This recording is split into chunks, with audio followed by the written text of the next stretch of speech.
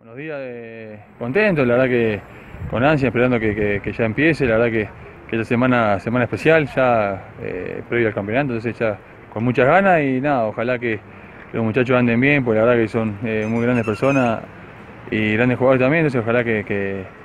que, anden bien y bueno, que tengan el nivel que, que ellos vienen teniendo, así que nada, ojalá el mejor de los deseos para ellos y bueno, y, y a la vez si le va bien a ellos, nos va a ir bien a nosotros, así que nada, que sea un conjunto bueno. Coincidiste con ellos en el, eh, anteriormente en un equipo, pero ¿qué sabes de ellos? ¿Cómo se desempeñan? ¿Qué le puedes decir a, a la afición sobre cómo manejan ellos la pelota? Nada, sí, estuve con, con los dos, eh, estuvimos en el 2013, seis meses, y después con Gallego tuve un tiempo más. Eh, nada, de Pablo, nada, entrega, eh, bueno, gol, el 19 tiene que estar ahí, y bueno, pero que van a, van a dejar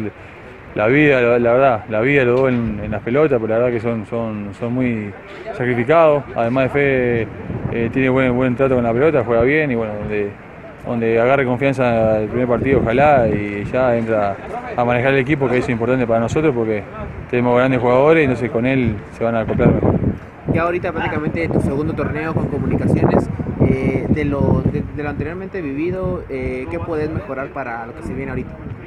Y siempre hay que mejorar, siempre todos los partidos hacemos cosas buenas y cosas eh, malas, a veces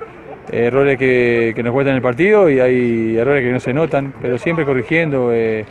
bueno, tratar de que no nos conviertan un poco menos, nos hicieron goles que, que no teníamos que, que- que hacer y, y nada, hay que mejorar siempre, tratar de, de- de si podemos mantener la valla en cero más partidos y bueno, nada, eh, siempre, siempre aprendiendo y mejorando cada día. Muchas gracias. A las órdenes.